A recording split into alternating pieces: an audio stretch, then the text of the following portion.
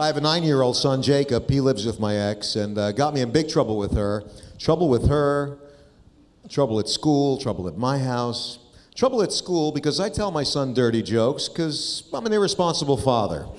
and, you know, I think that kind of shit's funny and uh, I'm not going to be around forever and I figured it'll be something he'll always remember.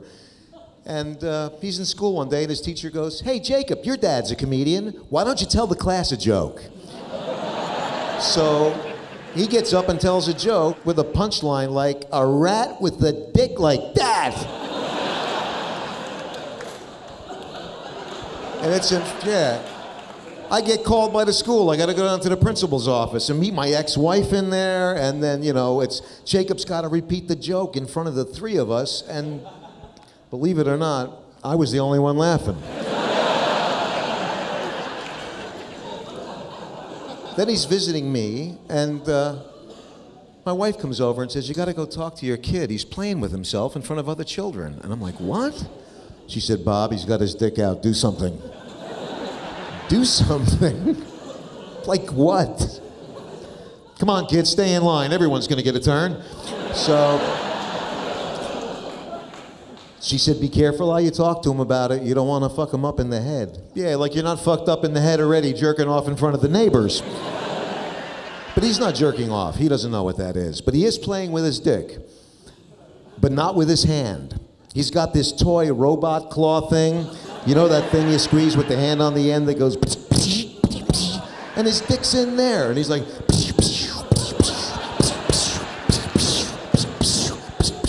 with three kids looking at him like he's David Copperfield making the Statue of Liberty disappear.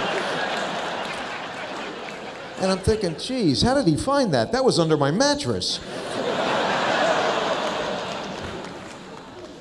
Got me in trouble with my ex because he was on the road with me and I let him watch From Dusk Till Dawn one night because uh, Jacob likes vampire movies and I like Salma Hayek and I figured, hey, this is a win-win situation. I mean, it's rated R, and his mom's never going to let him watch it. So here's my chance to show him that I love him more than she does. well, my son got enamored by Cheech in this movie and practically memorized that whole little rant from outside of the Twisted Titty Bar.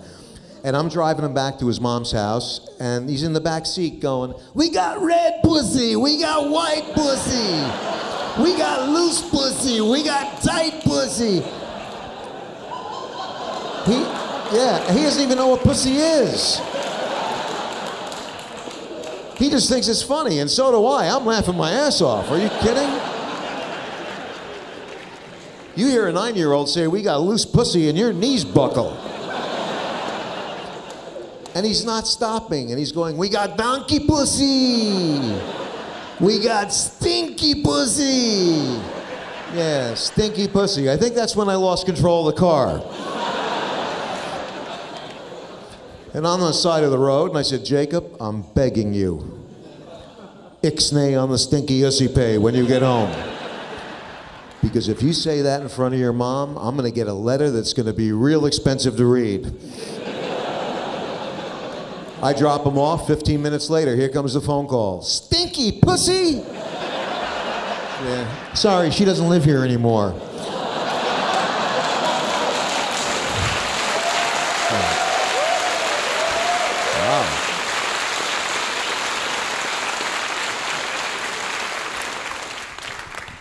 Wish I could have had that kind of response in the courtroom.